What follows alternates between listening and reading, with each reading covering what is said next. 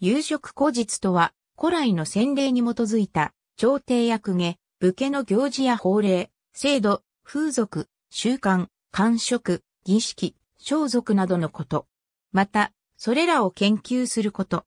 有識とは、過去の先例に関する知識を指し、古実とは、講師の行動の是非に関する、説得力のある根拠、規範の類を指す。そうした知識に通じたものを有識者と呼んだ。後に転じて有職と呼ぶようになった。平安時代の中期から洗礼を伝える知識の体系化が進み、藤原忠平の失世期に儀礼の基本型が確立した。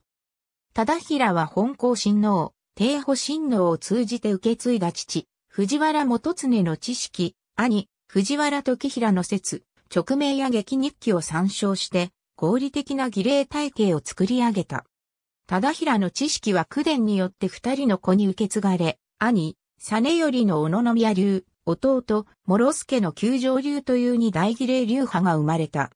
また忠平一王諸忠の子一条流も発生し、後に九条流から御堂流が成立した。陰世紀には現白井を祖とする土見門流と源の有人を祖として遠石の徳大寺実貞三条実法が完成させた花園流もあったとされている。平安時代末期の関白松戸の元房は、これら多数ある公家有職古実を集約し、後に松戸の関白説と呼ばれる学説にまとめられた。松戸の関白説は長く公家社会で重要視され、200年以上経った室町時代に、小花園天皇の尺を新調するにあたり、二条持元が参考にした記録が残っている。後に、監修家を異性が浸透すると、有色古実を過食とするうち、大井の帝屋も現れた。有色古実に関する原点は、完成の儀式書に由来を求めることができるが、後に、貴族は、自己の日記に、有色古実を書き残し、子孫が代々の日記を修正して、有色古実書を編纂するようになった。有色古実書の中でも、源の孔明の西宮記、藤原金東の北山省、大江正房の後家次第の三書は、後世の機関とは拝れ別格扱いであった。室町時代の一条金吉は、この三書を、西宮記はこれへ、北山省は一条天皇の時代以降の儀式、後家次第は、五三条天皇の時代以後の儀式と記している。鎌倉時代以降には、専門的な研究が盛んとなり、儀式については、純徳天皇の金皮章、五代後天皇の兼無年中行事、一条、金吉の九時根源、官職制度については、北畠地下房の職現象、復職については、源正明の正明相続省などの有職古実書が表された。また、著名な公家研究家としては、南北朝時代の東院金方、二条、吉本、室町時代の関路寺親町、安土桃山、江戸時代初期の平田食中、また、江戸時代の野々宮蒸気、平松時方などが挙げられる。平安時代には、武人の古実は、騎士と友野氏が伝えていたが、武士の台頭と共に衰えた。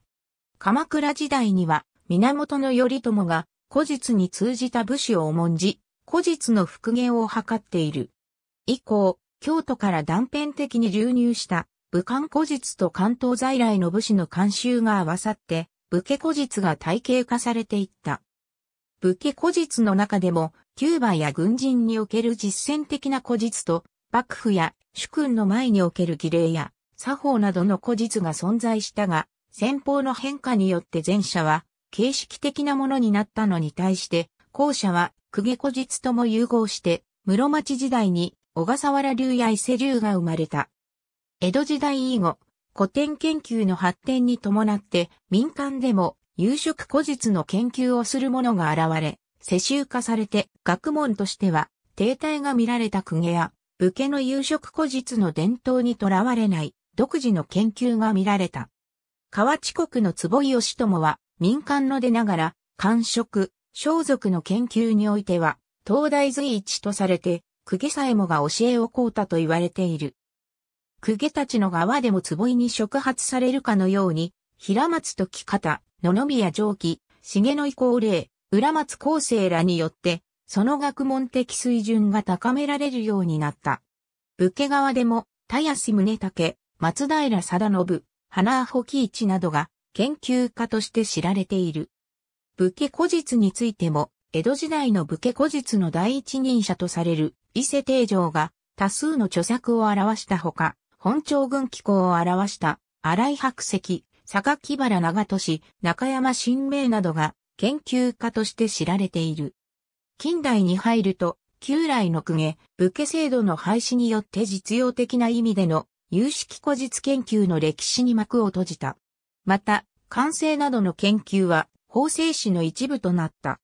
それでも歴史学の一環、あるいは日本文学研究の一環として研究が行われ、続け、佐藤誠実、和田秀松などの優れた研究家を輩出した。注釈出典。ありがとうございます。